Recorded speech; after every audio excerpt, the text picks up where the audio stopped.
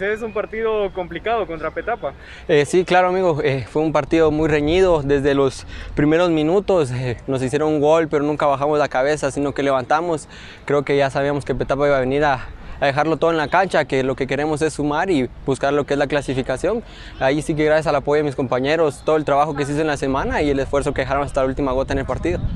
Profe te da la confianza y aprovechaste muy bien la, la titularidad. Eh, sí, gracias a Dios y al profe que me están dando la oportunidad de creer en los jóvenes, que creo que hay mucho talento y le doy gracias al profe Eric que está confiando en mí. Creo que lo que vine fue aportar al equipo, a sumar minutos, pero más que todo aportarles en lo que es la cancha que ha sido hoy como uno de los jugadores del partido. Eh, gracias a Dios, creo que yo también quería dejarlo todo, quería aprovechar esta oportunidad que se me vino y lo dejé todo. Ahí sí que hay que seguir trabajando porque esto no acaba. Un partido de muchas faltas y bastante ajetreado por parte de ambos clubes, ¿no? Ah, sí, creo que ya la presión ahí, cuando quedaban mano a mano, ya no queda otra opción más que hacer la falta y creo que ahí sí que el partido estuvo muy fuerte a pensar en el próximo rival. Así es, ya ahorita tendremos dos semanas para trabajar y pensar lo que es Aurora y a meterle que tenemos que seguir sumando para clasificar. ¿Qué crees que haya que corregir dentro del equipo?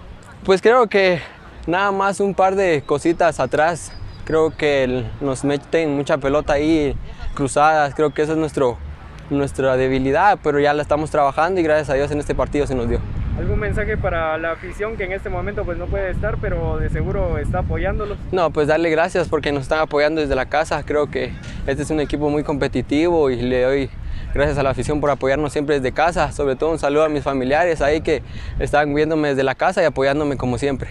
Gracias, Moy.